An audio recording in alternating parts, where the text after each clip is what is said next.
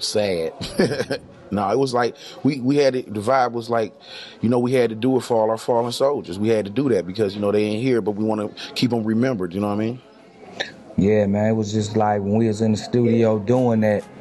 You know, that writing session was like we, you putting your heart on a piece of paper.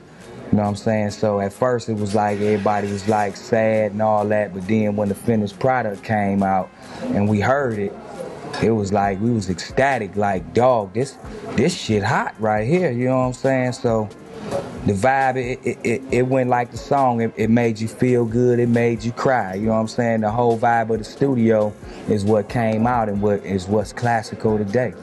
I mean, we want to say much love to all our fans. Sorry about the intermissions, but uh, the Bone Boys is back, and we here to stay, baby. Please believe it, and uh, God bless everybody, man. Keep God first.